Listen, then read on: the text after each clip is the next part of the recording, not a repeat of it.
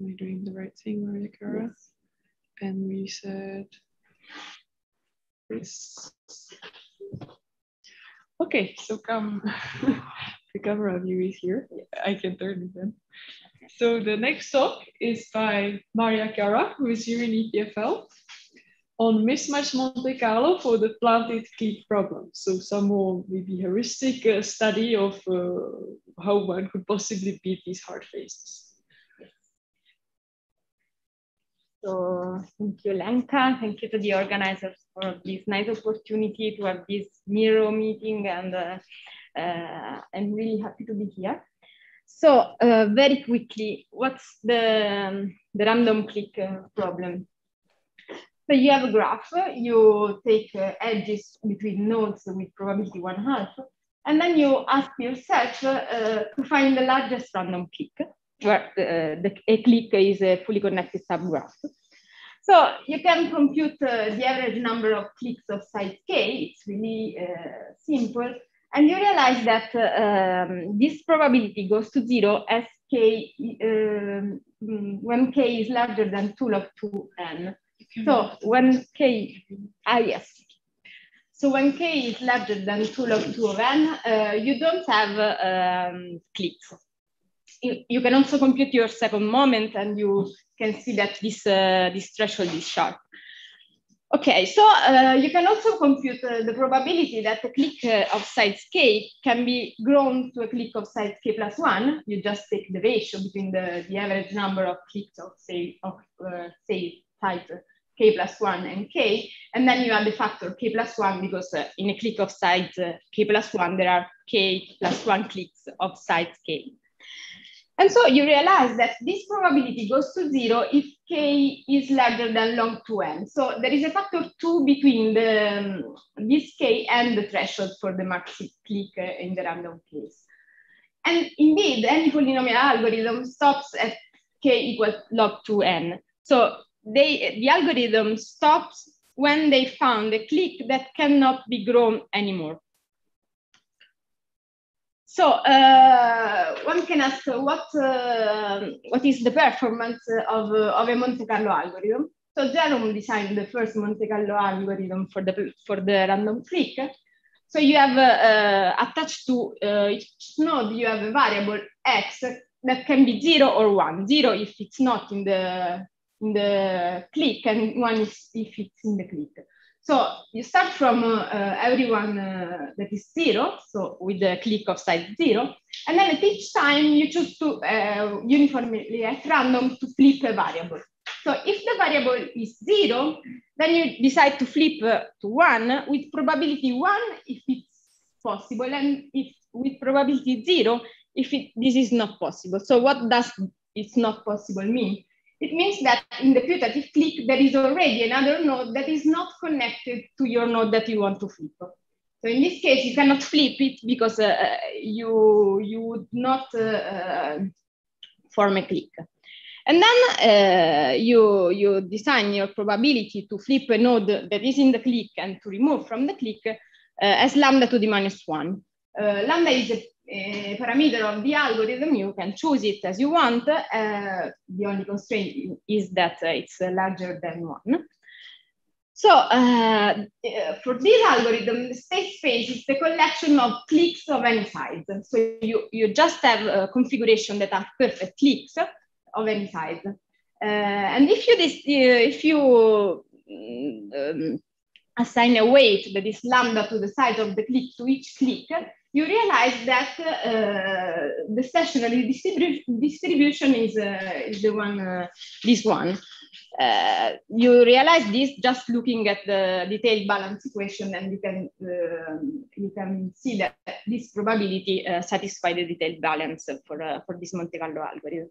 So in principle, if you take lambda large enough, large clique should dominate the stationary distribution. So in principle, if lambda is large enough, you should reach large cliques.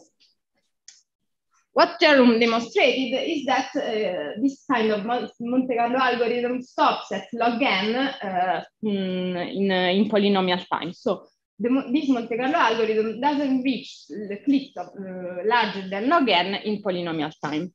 So the stationary distribution should visit the largest clique. The problem is that you don't reach this, the stationary distribution because you, you are stuck in some, uh, some distribution that is not the stationary one. Okay, so uh, the planted clique problem, uh, you have a graph and then you select a subset uh, of sites k, and then you add to the graph all the edges between the nodes in the, in the chosen clique. You plant a clique and then you want to, to find it.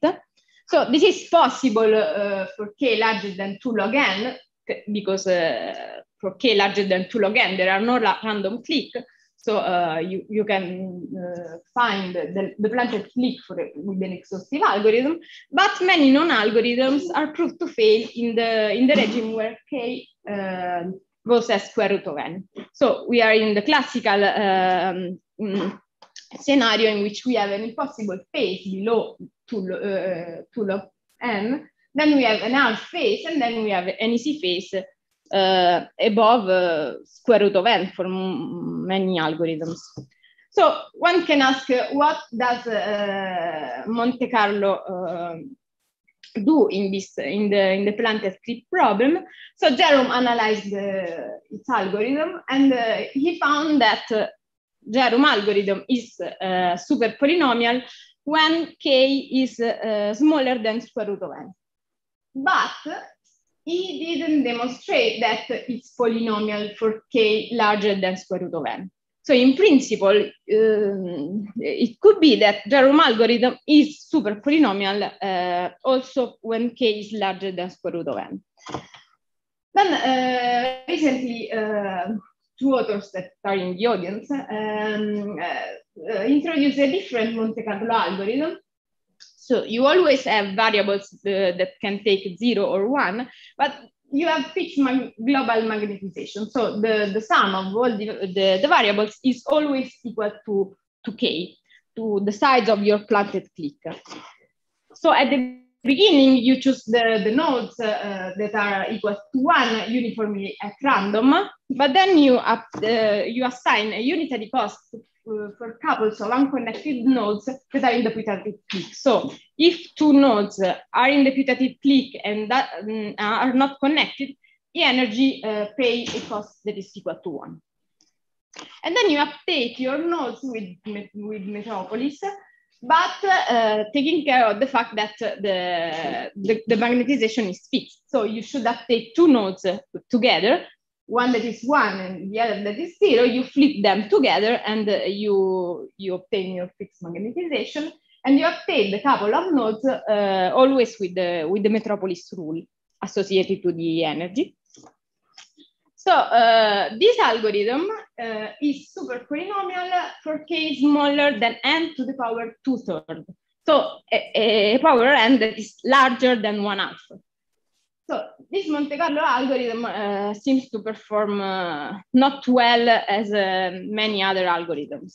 But in the same paper, uh, the authors realized that you can uh, uh, achieve a better performance of the Monte Carlo algorithm below down to, to square root of n working with a mismatch fixed magnetization. So if you impose your magnetization equal to k bar that is larger than k, you can reach uh, the, the threshold uh, that is square root of n. So uh, in, in, this paper, we, we tried to ask two questions. Is the Jerrum algorithm also suboptimal for k uh, that is um, larger than square root of n? And if yes, can we introduce a mismatch parameter, as in the case of the previous paper, to enhance its performances? So the first thing that we did are simulations of uh, numerical simulations of the Jerrum algorithm. So here you can see the, the average number, the average uh, mm, time to solution as a function of the size of the clique k for different values of, of n.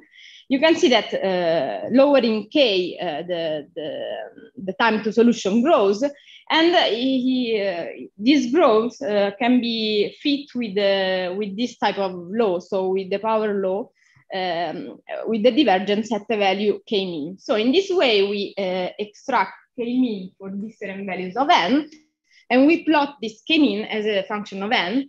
And as you can see, Jerrum algorithm is really far from uh, square root of n. So square root of n is the, the blue line. And the, the k-mean extracted from our um, numerical simulation is really uh, higher. You can try to fit it with the, yes. Maria, a question. What is T50? Yeah, the, the average over the, the 50% of the fastest samples. This is because the if you try to to to plot the distribution of the of the, the times for different samples, you realize that this distribution have really really heavy tails. So if you try to uh, just take the average over all the samples that you have, you it's really a mess. So we just uh, um, okay, okay, yes. thanks, thanks. Later I, I can show you if you want, but it's really heavy tests. Uh, okay, so the answer to the first question, is the Jerrum algorithm suboptimal? Well, it seems to be super polynomial until an alpha that is 0.91, that is the fit of, the, of the, our data. So I don't want to state that alpha equals 0.91 is really uh, a correct, the correct number. This is just a numerical simulation, but however, for sure is larger than one alpha. So at this point, uh, we, um, we try to answer the, the second question. So can we introduce a mismatch parameter to enhance the performances of the Jerrum algorithm? So to answer this question, we introduce a slightly different Monte Carlo algorithm based on rule. So uh, this is the Bayes rule. so uh, the posterior, that is the um, is composed by the product of the likelihood and the prior. So the likelihood is the probability to have a certain adjacency matrix once you you plant a, a, a, planted clique, and then the prior is this one. So in principle, the prior in the planted clique problem is a global constraint. So it should, um, uh, the sum of all your variables should really be equal to k. But if we want a, an algorithm that is similar to the Jerrum algorithm, we, uh, we instead uh, put a, a, local constraint of this type on each variable. So uh, I am a statistical physicist, so I, I like Gibbs-Boltzmann weights. And so I write this posterior probability as a Gibbs-Boltzmann weight with a certain Hamiltonian, that is just the, the logarithm of the posterior, and introducing a parameter beta that is a sort of temperature. So in the case of the Bayes uh, uh, posterior, there is no temperature, so uh, beta is just equal to one. But we can ask the question how things uh, uh, work when beta is different from one. So uh, having introduced an energy, we, we designed the Metropolis algorithm with this energy. So again, you have your variable that can be zero or one, uh, you flip a variable that is zero to the value of one if it's uh, possible. So if there are no other nodes in your putative flip that are not linked to the to the to the node i, and then you flip, uh, and if it's possible, you flip them, uh, you flip it with the Metropolis uh, update rule. And in the same way, you uh, remove a clique from the putative clique, you remove a node from the putative clique with the Metropolis uh, law. So this kind of algorithm is in the same class as Jerrum algorithm in the sense that uh, the space of uh, possible configuration is the same, is the, the space of perfect clique, cliques of, of any size. And this is the comparison between the, the update uh, uh rates. So for example, here, uh, the Jerrum, in the Jerrum algorithm, you remove a node uh, with a constant probability, that is one, uh, this one over lambda, the, the, parameter of the algorithm, while in this case, you remove a node with a probability that depends on m, that, where m is the actual magnetization of your uh, of your uh, configuration. So in fact, uh, this is the Hamiltonian. You have this term that depends on the sum of, uh, of all the, the pairs j, ij, and you can rewrite it as a term that depends on the actual magnetization of your uh, algorithm of your algorithm. Yes. So Uh, this is the difference, the main difference between the Jerrum algorithm and this algorithm based on the Bayesian um, posterior. Okay, so uh, how this algorithm performs. So when beta is equal to one, so in the really when you try to, to sample the posterior, this algorithm works really, really bad. So uh, for n equals 2000, we are not able to recover the planted clique in a time that is 10 to the 7. So it's really bad. And for this reason, beta equal to 1 is not in this axis. Uh, but then you can try to, to use your algorithm for different value of, of beta. And uh, surprisingly, for beta la, uh, smaller, the algorithm performs really well. And the time to solution is really low for beta, la, for beta small. So why, uh, why this happens? I mean, uh, the really posterior should be, the real posterior should be at beta, beta equals to one, but the Monte Carlo is not able to reach the planted clique. So why? Okay. yes. So in your algorithm, M is a fixed magnetization parameter. It's not fixed. It's not fixed. M can vary and varies during your uh, your uh, your algorithm you start with m equal to zero, and then you, you try to add nodes to the clique. And m is just the sum of the number of the nodes that you are. Uh, see. So the Hamiltonian, I guess, prefers m to be around k, but uh, yes. it allows you to yes. fix sets of Yes, this is the the this the pri this prior term. No, you have this prior that uh, uh, tells you that you prefer to be to have m that is equal to k, but you are allowed to, to, to have m smaller. You start with m equal to zero.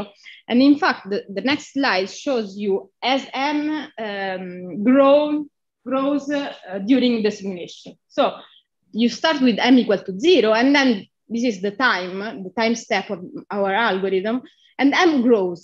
So when beta is equal to one, that is the, the black curve, when uh, beta is equal to one, m grow very fast at the beginning, but then it reaches the, the value log n, that is the value of the cliques that cannot be grown anymore. And then it's stuck, it's stuck there. You have this plateau that is very long.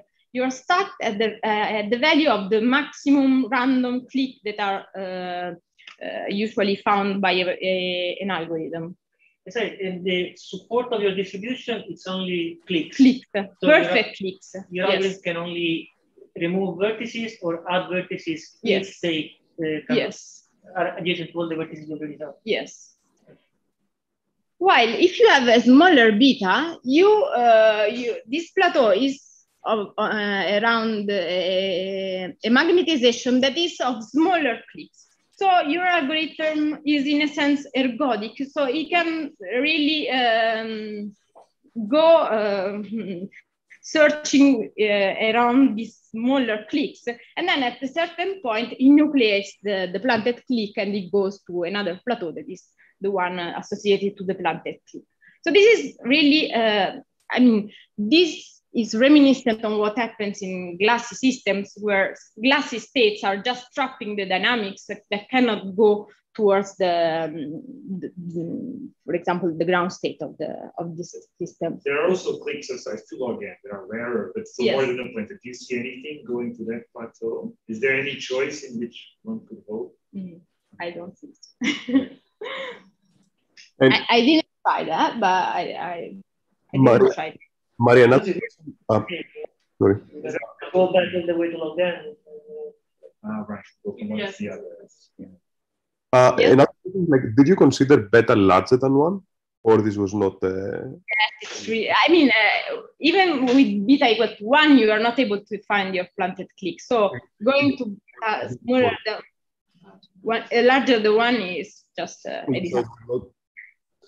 Okay, but but beta. So just understand, this is the inverse temperature. So like you, you say you are you are making it smaller, so you make it more like uniform like. So just understand, you're adding more randomness to it. Okay, yes. I, I see. Okay, please continue. Sorry for cutting you. Yeah, I see. Yes. You are just enhancing uh, entropic effects. For smaller beta, it might take something like n to the log n time still to the to the plastic clip. Like if it's like uh, yeah, uh, oh, I, you're getting there. okay, so um, this is the time to solution of the, the, the algorithm at the optimal value of beta. So each point is at the optimal value of beta uh, for that given uh, k uh, for different value of n. So uh, this time it's uh, growing, uh, lowering k. But now I want to show you exactly the same data, but rescaled. So here the, on the x-axis, I rescale k with the square root of n, and on the y-axis, I rescale the, the time with the factor n. And you can see that with these rescaled variables, uh, data are really collapsing. So this is a numerical evidence of the fact that the, this Monte Carlo algorithm at the optimal beta uh, is really performing linearly uh, when k is over the square root of n. And this orange line that seems to be the, the, the point at which uh, the time diverges is 1 over square root of e, that is the, the threshold that is believed to, uh, to be for linear algorithms of the planted clique. So answering to the second question, yes, we introduce a mismatch uh, temperature. And with this mismatch temperature, Monte Carlo seems to, uh, to reach the, the thresholds for linear algorithms. So uh, just want to conclude. So all this is just uh, numerical evidence. So if there is someone who wants to prove these uh, numerical findings, we are very happy. And then uh, we want to better understand the reason of the failure of standard Monte Carlo. So why it's trapped uh, in this plateau of M. Uh, the intuitive reason uh, is that there are some glassy states, some random states that are uncorrelated with the planted clique. And it seems, as in the Florent talk of yesterday, it seems that going to higher energy, um, these glassy states are correlated towards the planted solution. So it helps you to, to go towards the planted solution, while um, low energy states uh, just trap you and uh, you cannot flow towards the planted state. And so, and then a few years ago, um, I designed another uh, algorithm that is the parallel tempering, so just a, a more uh, complicated algorithm on the on the Monte Carlo. And uh, it seems to work extremely well for the planted clique. So this is the numerics, and uh, you really reach uh, sizes of, of, the order of log to n, 2 log to n, uh, in your um, uh, in your simulation. So uh, this is, I mean, one can say that this is just a, a finite size effect, but however, uh, parallel tempering works really, really well with respect to, for example, message passing algorithms or spectral algorithms. So uh, maybe uh, this analysis of the, the Monte Carlo at different temperatures can help to understand why parallel tempering is working so well. Yes, yes, these are planted clique and this KS of n is just the, the value of the, the maximum random clique. So it's really, um, it's really achieving the, the information theoretical limit for this, for this, yes, for these sizes. There are small sizes, but it's really entering the hard space. And uh, uh, okay, so a, comment that is uh, a bit um, far, but uh, hmm, so overparameterization is essential in deep neural network, for example. This case is a, is a, sim very simple case of overparameterization. We just introduce an over, a, a, new parameter that is the temperature, and we obtain uh, good performances. So study simple cases like this can be useful uh, for understanding the, the complex ones of uh, where over parameterization is really, really um, good. Thank you, Marika.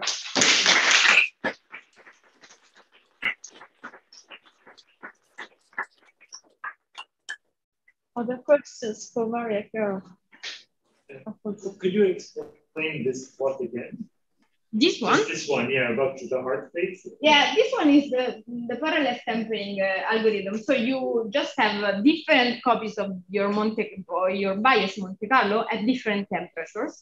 So the, the highest temperature the lowest temperature is the highest beta is beta equals to one, and then you have a smaller beta, and then you each replica uh, evolve uh, independently, but then at a certain time you flip the replicas with some with the sort of metropolis rule.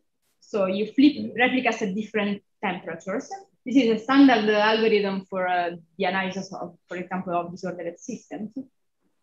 Uh, and, and then you look to the, to the replica with the highest beta, and you look at the time uh, to, to reach the planted solution. And here you can see that uh, KS, KS is just the, the random uh, threshold. So the max, the max random clique. And you can see that. The one you pointed. No, the random. Ah, like two log n. Yes. Two log two. Yes. Uh, I also put the, the finite size effects here. Ah, so the okay, okay, okay, so it's dependent of and because uh, finite size effects for these values of n are really strong. Ah, so for example, for n equals 5000, uh, ks is 1.6 log n. It's not 2. Ah, okay, okay. So, okay, this is really the, the, the number of the max, uh, okay? And you can see that uh, parallel tempering reach in a time that is uh, not uh, super poly polynomial, the, this value of, uh, of the planted clique. So k is the actual value of the planted clique and ks is the value of the random. So when k minus ks is equal to zero, you really um, arrive to the information theoretical threshold. And parallel tempering is able to do it. And here times are scaled with the power of n. So it seems to be polynomial with the power nu that is like four, I think. So if you put, uh, if you rescale times in this way, that data for a different n collapse. So it means that times should scale, uh, at least for this uh, n, like uh, a power of n. Of n. And, and, each each thing in the x-axis is a different experiment with a different planted clique of a different size. Yes, and it's also average over. Sure, sure, uh, I see. Yeah, yeah, yeah. Samples, I see. Yes. Okay. And in in the graph of running time versus value k of uh, your algorithm, the y-axis was still uh, time divided by some polynomial in The, the other one, or for the Monte Carlo? No, yeah, the, uh, yeah, that was linear. Yes.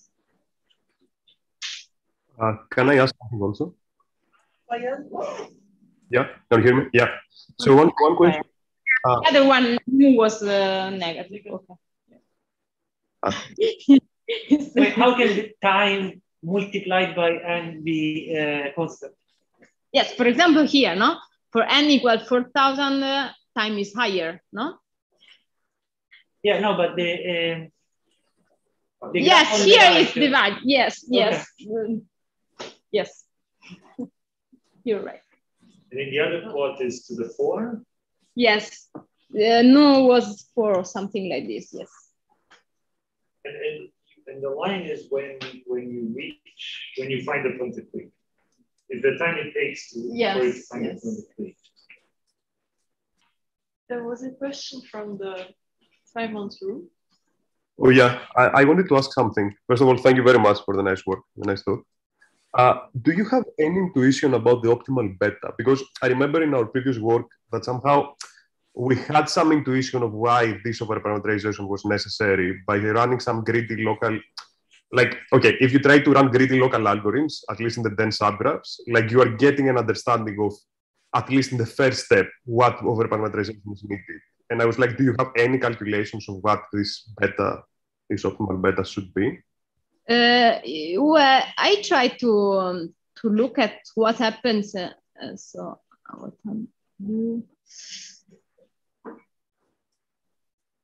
so this is a sort of phase diagram. So here you have K and here you have T, that is the, the, um, um, the inverse of beta.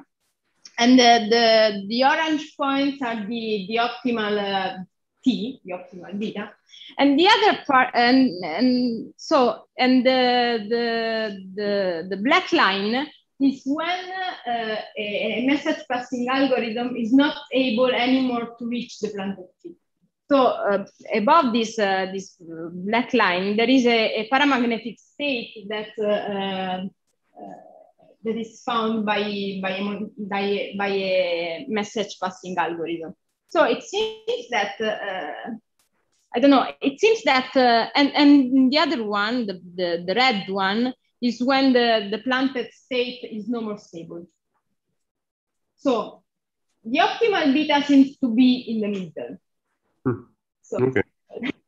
I don't know why. And this is really strange because in this region, BP is not working. So okay. In the interest of time, this is a really beautiful set of numerical experiments worth knowing about. But in the interest of time, let's let the other questions offline. Yes. And uh, I switched to sum in, in Simon's. I think he's there.